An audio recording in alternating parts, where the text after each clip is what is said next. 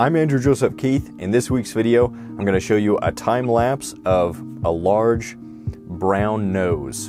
A brown nose that I sculpted for the portrait sculpting course that you can find over at Proko.com. If you're interested in the full course, you can go down to the link in the description below and get the full portrait sculpting course. There's also a figure sculpting course um, over at Proko.com, and I really appreciate anybody that's gotten those courses. Really helps me out. That's primarily how I provide for my family, and so uh, I really appreciate it. These facial feature studies are a great exercise. I like doing these larger than life studies just because they're a little bit more impressive, and it's uh, it's a little bit easier to work in the details. So doing these larger facial feature studies is a really fun project. If you haven't done it and you're interested in sculpting, you might try these: the the nose, the mouth, the eyes, the ears. The clay that I'm using is just a cheap brown non-dry modeling clay. It's unbranded. I got it from the dollar store. It came in a bunch of colors, but I just removed the darkest colors and then melted all of the other colors together in an old pot and it gave me a nice reddish brown. That's the clay that I'm using for those that would be interested in that. If you like this type of content, be sure to give it a like, subscribe to the channel, let me know anything that you'd like to see in the future, and enjoy the time-lapse video.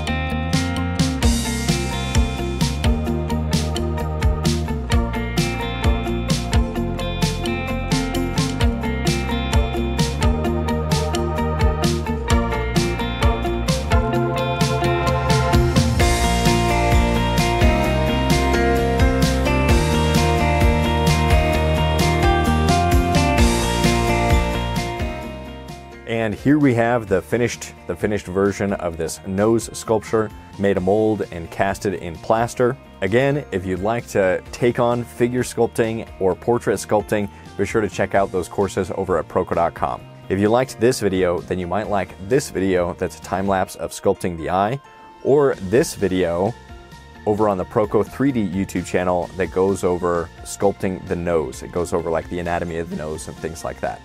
So either of those will be helpful. Okay, stay productive, stay creative. I'll see you in the next video.